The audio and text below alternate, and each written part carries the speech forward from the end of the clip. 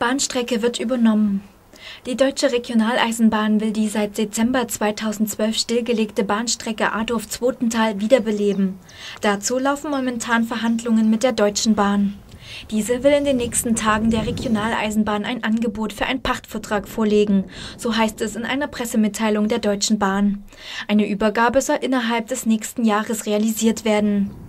Die Deutsche Regionaleisenbahn ist ein Infrastrukturunternehmen. Für die Bestellung der Strecke wird allerdings noch die Zusammenarbeit mit einem Verkehrsunternehmen benötigt, um Zugtrassen zu bestellen und Züge fahren zu lassen.